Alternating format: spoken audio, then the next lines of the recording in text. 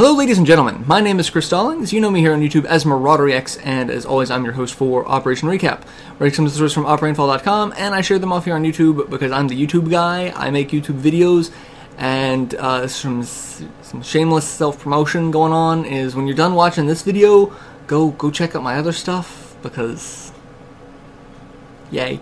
Um, also, go check out the other stuff I do on you know this channel. I, I do a lot of videos because I like doing videos. Uh, anyway, as always, I've taken three stories from Op Rainfall, and I'm gonna share them here on YouTube. So, uh, first off, first story for the week: uh, Legend of Zelda Wii U delayed until 2016. Uh, this story physically pained me when I read it. Uh, I read it last night. I don't know what the time frame is going to be like between then and when this video goes up. I'm not. I, time is not something that I can focus on at the moment. Uh, series producer released a video statement containing uh, that 2015 is no longer the game's number one priority, and that the scope and scale of the project has become larger that uh, would allow for that release.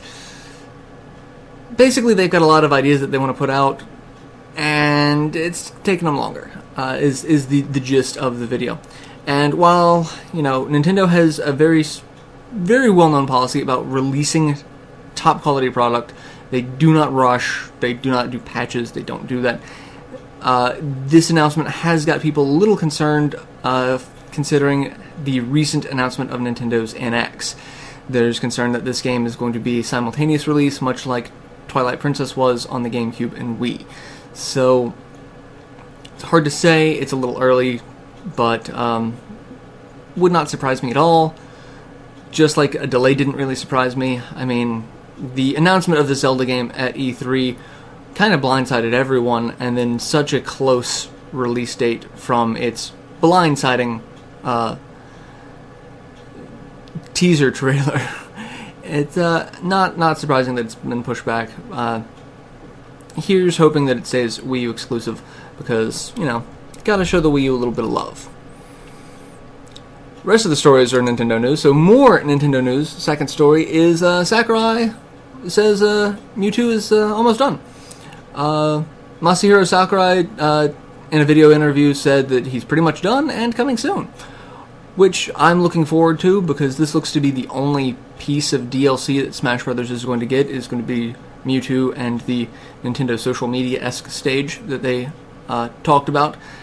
Really surprising because went into this game expecting a lot of DLC, you know, extra characters, stages, music, but it seems that this is going to be the only piece compared to like Hyrule Warriors and Mario Kart 8 that got lots of DLC.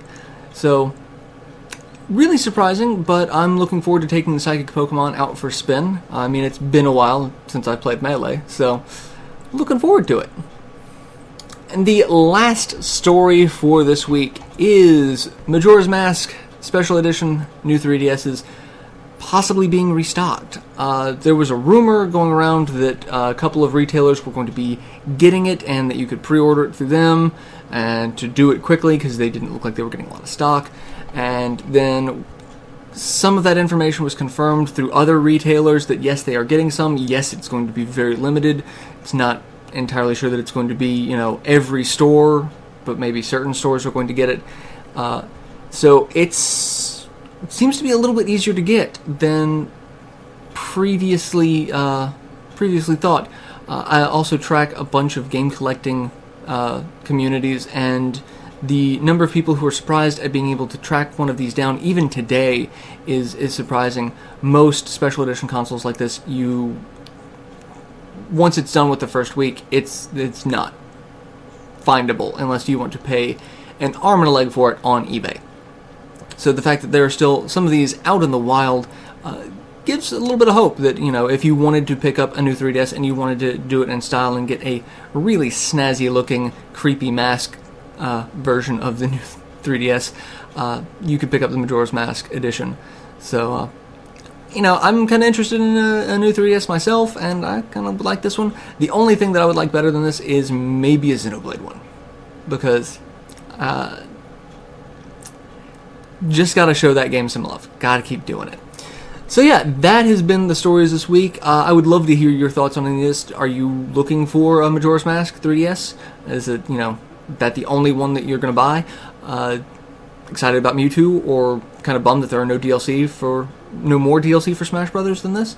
And uh, let me know your thoughts on Zelda Wii U and it being delayed. Do you think it's going to be an NX title? Mm, this is just a, a way to transition, or is it just they bit off more than they could chew with an open world game. Let me know your thoughts, your opinions, your feelings on these stories and anything else that we may have talked about at Rainfall this week. Let me know. Curious. And uh, meantime, I'm going to go play some games and I will see you guys next week. Till then, later everyone.